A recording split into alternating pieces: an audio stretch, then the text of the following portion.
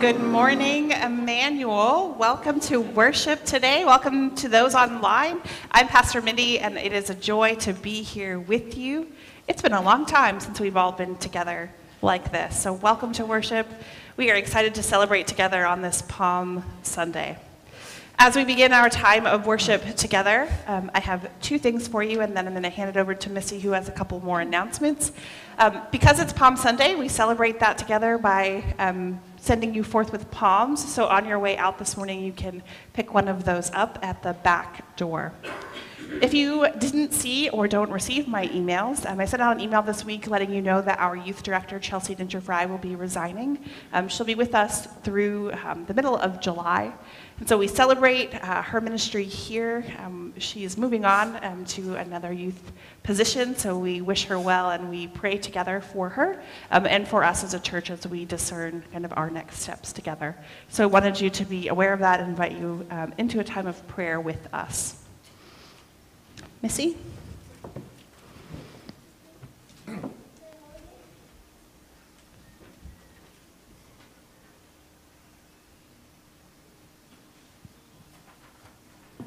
Good morning. Can everyone hear me okay? First, I have to share, it is so great to have the bird's eye view again and like have all of you out there. This is just wonderful. So, some additional announcements for you. Please keep in mind the 24 hour prayer vigil that will be happening on Good Friday, April the 15th. They do still have some slots open, so if you haven't signed up or um, you're interested in, in being a part of this ministry, please do so. Um, we have Sneakers for Kids going on. Uh, this is our mission for the month of April.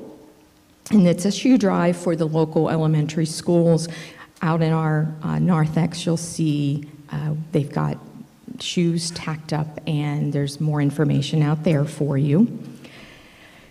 Next week is the big week. It's Holy Week. So every day there's something going on. And um, please look at the back of your bulletin. It lists everything out for you. And if there's anything you're interested in participating in or helping out with, I'm sure Pastor Mindy will be more than happy to assist you with that. And the last thing that I would like to talk to you about this morning is Vacation Bible School. That is coming. And can you show me by raise of hands how many here went to Vacation Bible School when you were a youngster? Yeah, yeah. Choir? Yeah. So then, as you became young adults, how many of you helped with Vacation Bible School? Wonderful. So, and just in case you're wondering, my husband is back here keeping notes as to who used to help with Vacation Bible School, and we'll be talking to you. Yes.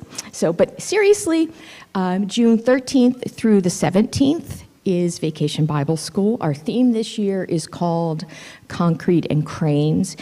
I can't think of a better way for us to support our young children and their growing minds and being able to cement, and I am using that, or concrete, I should say, concrete, their belief and their, um, their values in Jesus. And so I encourage you to bring your children, bring your grandchildren. If this is an event that you would like to participate, because trust me, it takes a lot of people to pull off this week. And don't be afraid that there's, you know, you don't know how to do something because I'll help you. I, I will definitely help you. And um, over the next few weeks, leading into Vacation Bible School, we will be asking for your assistance in a numerous of ways, whether it be helping with teaching, with activities, maybe supplying food for the snacks. Um, so there will be sign-up sheets at the the narthex desk, the welcome desk. And if there's, you know, anything you're interested in or you have questions, you're always welcome to contact me. I would ask, though, now that you please pray for us as we gather all the information and the items that we need in order to pull off this week. Um, in my heart, this is such a very important ministry for our children, and we truly appreciate any help and assistance that you can give us.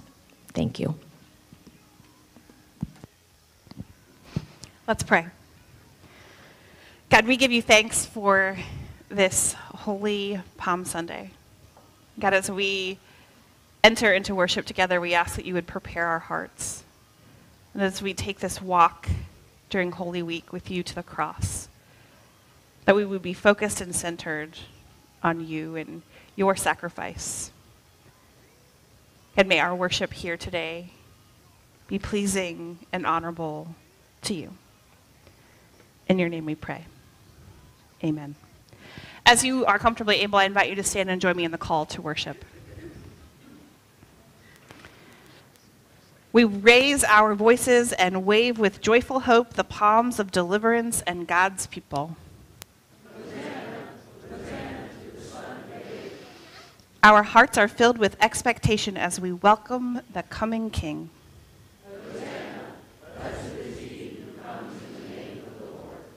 We receive into the crowded streets of our lives the one who is Savior, not only for us, but of all the earth. Let us join our voices together in song.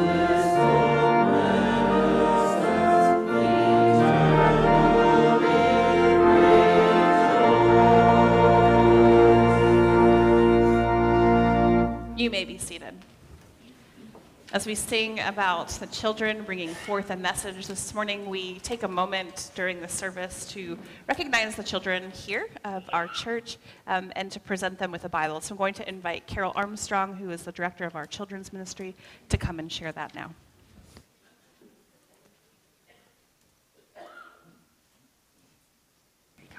Thank you. Tab, it's been a while since I've touched one of these. Um, We have, um, from before COVID, and now since we're back, we were doing a study of Explore Through the Bible, which takes the kids clear through the Bible from Genesis to Revelations in a three-year period.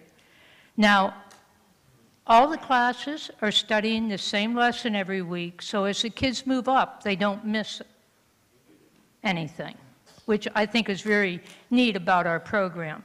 This year, we're kind of doing our, our discipleship time a little differently. The kids have three different stages they're in during that hour. Some of them will start off doing a craft, some with the lesson, and some with the video, and then they'll just rotate to the different positions. So I wanted to share with you some of the things that they've been working on. Our older kids, second grade through fifth grade, are doing these crosses, which they can hang up once they're done.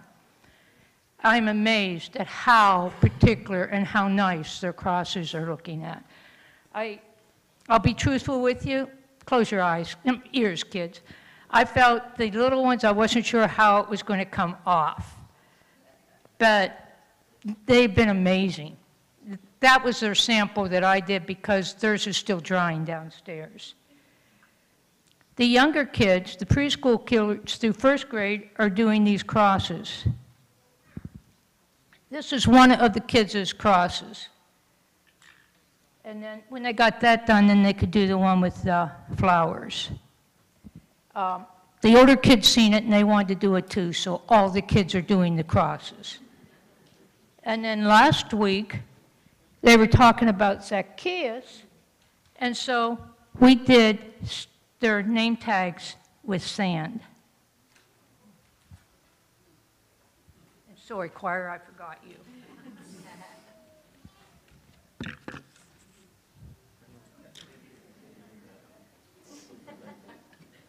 And then, of course, this one was up where you could see it. So at that point, there, we have, if all the kids came, we would have, that we have touched in the last few years, we'd have 38 kids here this morning. We don't have all 38 here due to different reasons. We have some that have injured themselves, some of them who have been suffering with flu bugs and stuff going around. But I would like to invite all of our toddlers, that's one year old, on up through third grade to come up to this side of the room to get your Bibles.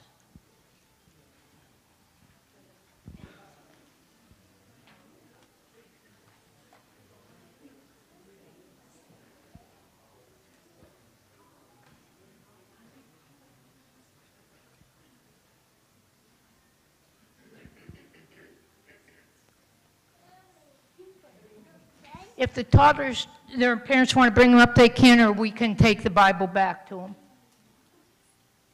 We know toddlers are a little bashful.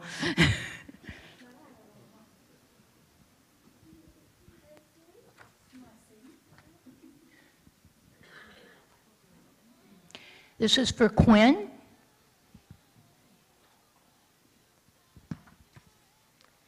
Renata.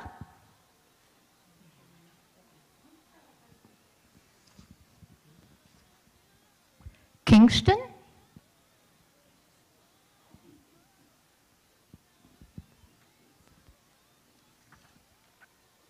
Eris. Preacher's getting a workout. Uh, That was Lucas's, he's not here. Rowan.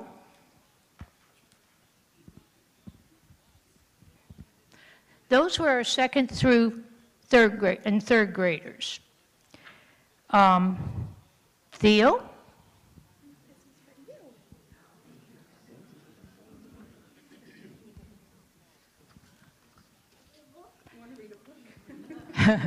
Peyton?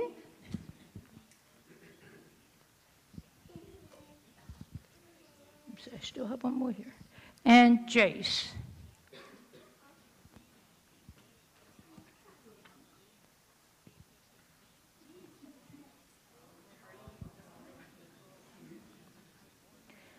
Now, I guess I didn't say this before, but uh, younger kids got a beginner's Bible. And then the older kids got the Deep Blue Bible, which we have been handing to our kids over the years. So it's just been a continuation. This should catch us up. We are so thankful for all of the children in our care, and this morning we're going to pray over them um, before we send them back to their parents. So let's pray. God, we give you thanks for each and every child that you have entrusted to us here at Emmanuel. God, may the Bibles that they hold today bring to life your goodness and love. That they would come to these words and they would experience you over and over. And God, may each of us here be living examples for our children of your love and grace. God, may we continue to help our children learn just how much it is that you love them. In your name we pray. Amen. Oh, Miss Janice.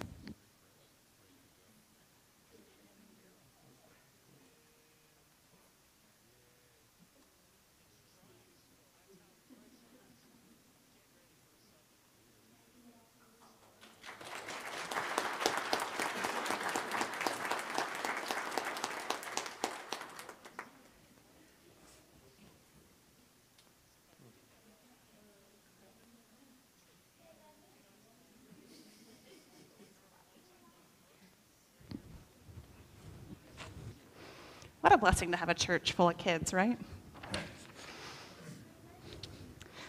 All right, our scripture this morning comes from Matthew chapter 21, verses 1 through 11. As Jesus and the disciples approached Jerusalem, they came to the town of Bethphage on the Mount of Olives. Jesus sent two of them on ahead. Go into the village over there, he said. As soon as you enter it, you will see a donkey tied there with its colt beside it. Untie them and bring them to me. If anyone asks what you are doing, just say, The Lord needs them. And he will immediately let you take them. This took place to fulfill the prophecy that said, Tell the people of Jerusalem, look, your king is coming to you.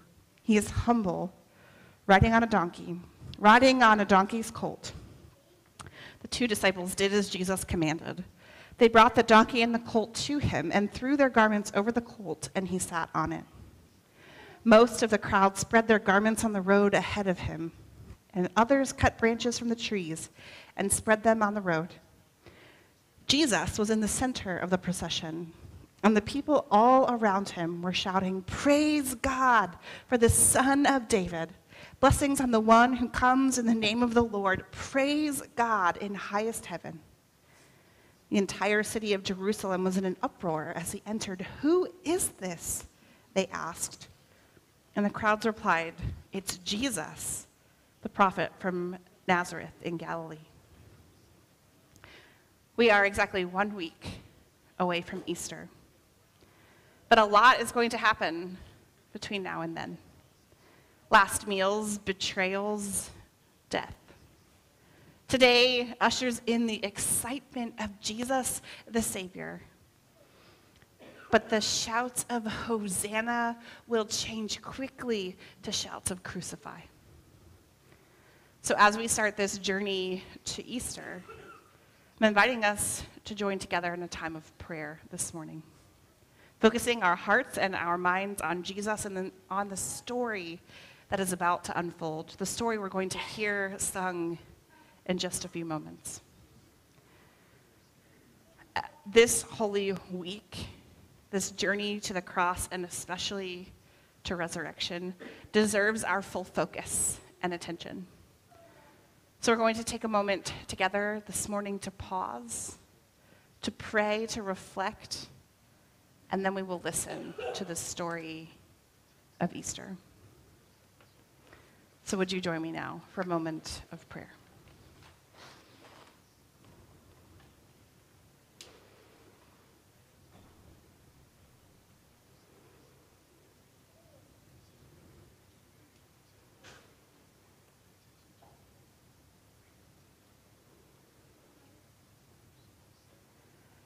God, we come this morning hopeful and expectant on this Palm Sunday as we remember and we celebrate your son Jesus entering into the city for the last time.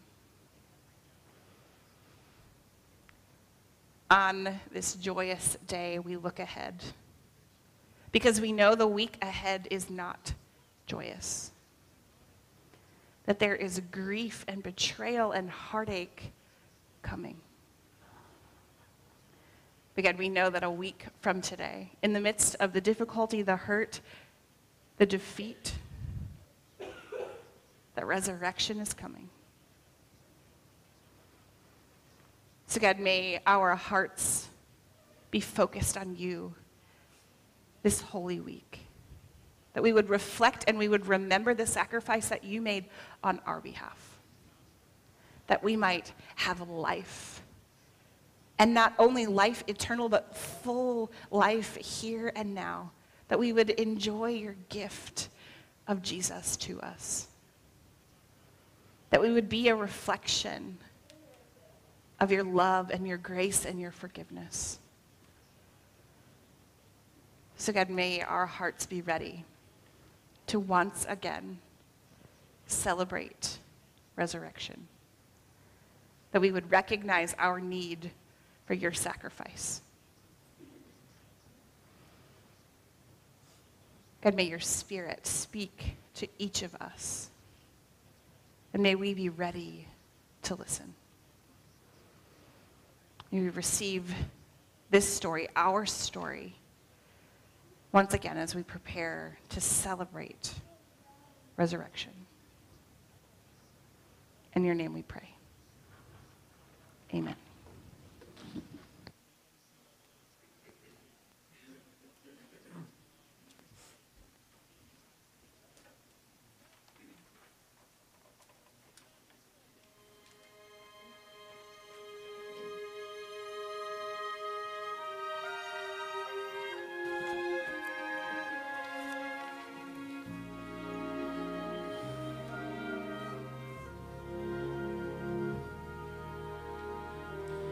Is a mystery in the mercy of God, and the key to that mystery is found in the heart of the Father.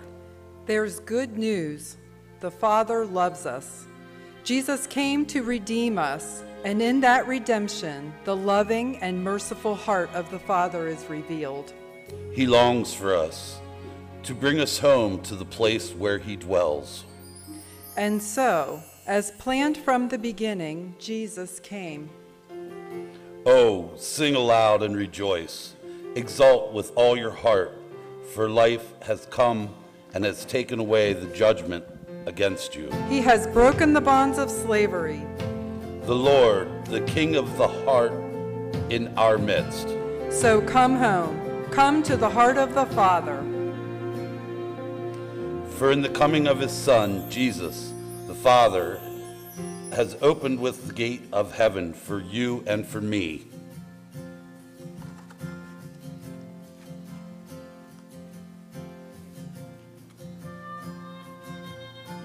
He opened wide the gate so we could walk into all the joy and splendor of heaven. He opened wide the gate we could walk into all the joy and splendor of heaven. He opened wide the gate so we could walk into all the joy and splendor of heaven. I owe a higher debt than I could ever pay.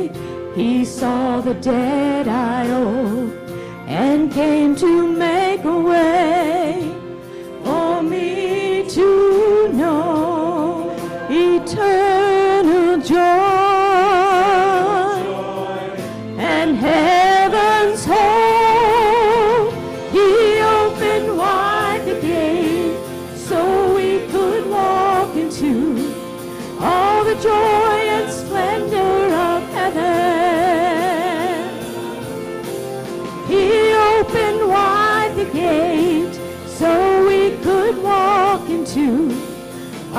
joy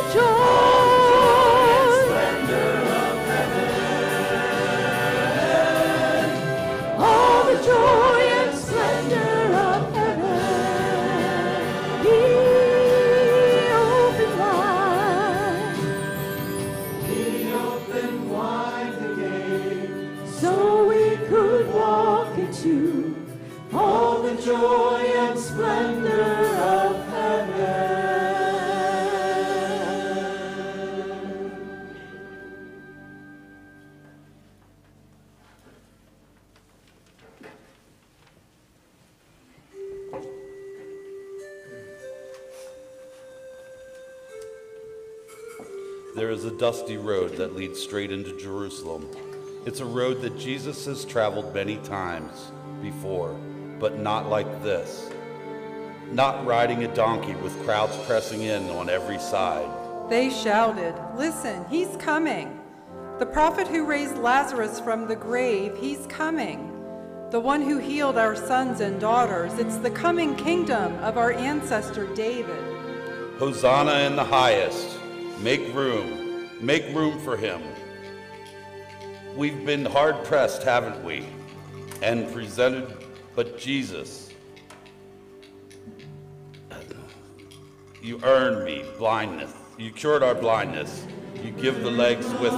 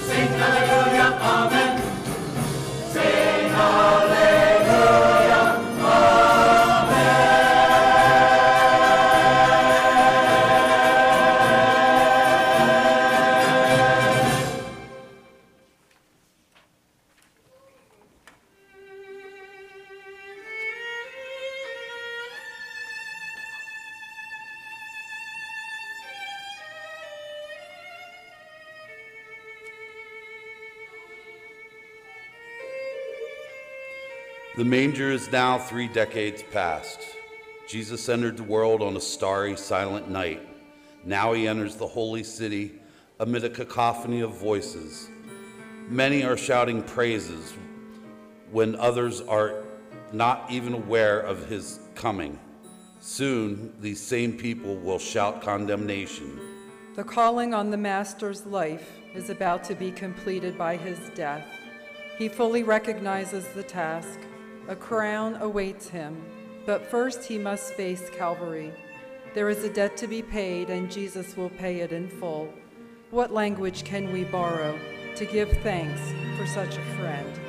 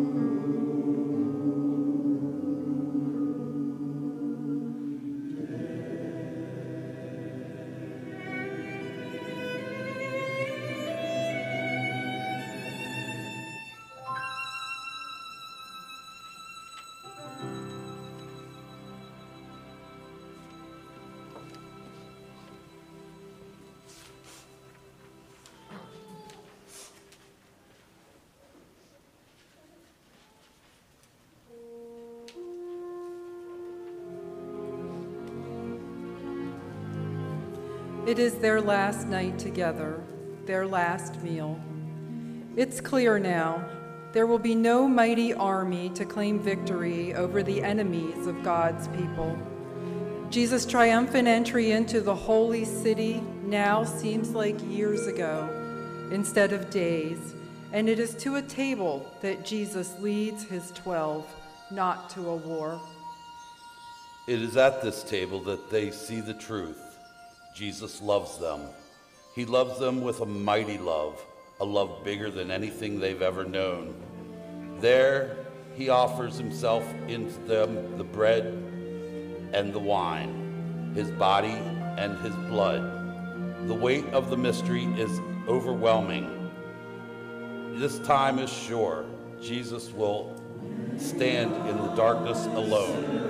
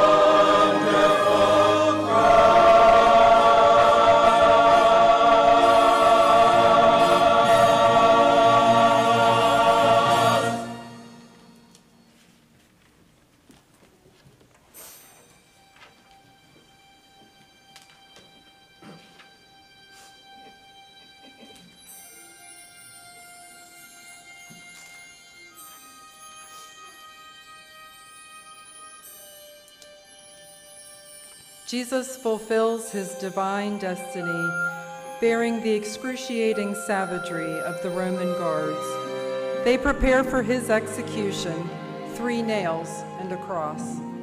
This man of sorrows, familiar with suffering, the friend of ruined sinners, this higher of the A severe darkness covers the land. Let the whole earth tremble. The bread of heaven has fallen. How could the Son of God, the Savior of the world, end up like this? every single moment that he transpired since the foundation of the world was prelude to this. Behold the Lamb of glory.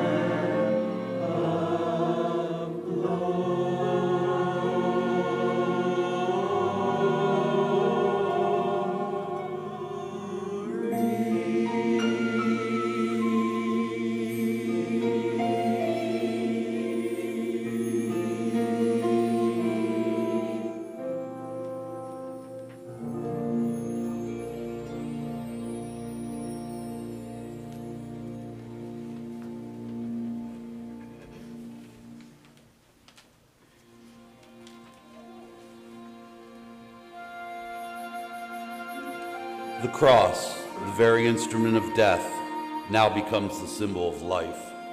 The crown, so magnificent, now becomes the symbol of just how far God is willing to go to redeem us. If there is no cross, there is no crown. And so Jesus, being in very nature God, did not consider equality with God something to be grasped, but made himself nothing, taking the very nature of a servant, being walked in human likeness. And being found in appearance as a man, he humbled himself and became obedient to death, even death on a cross. Therefore, God exalted him to the highest place and gave him the name that no other, every man, that at the time of Jesus every knee should bow in heaven and on earth and under the earth, and every tongue consider that Jesus Christ, Lord, Jesus Christ is Lord. to the glory of God the Father.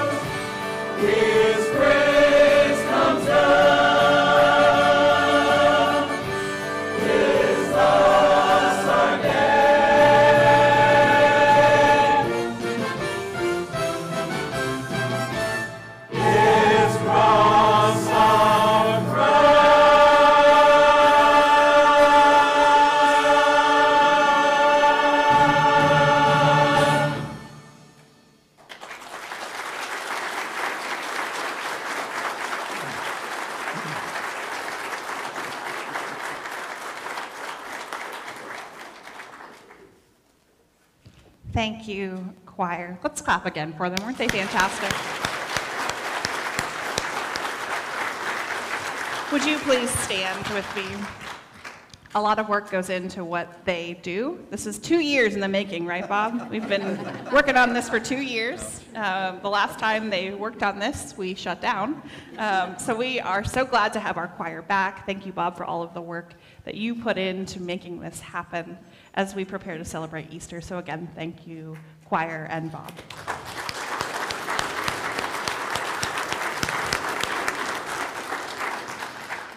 And so now may you go this day in the name of the Father and of the Son and of the Holy Spirit, holding this holy story in your heart as we journey from today to Easter. Go in peace. Amen.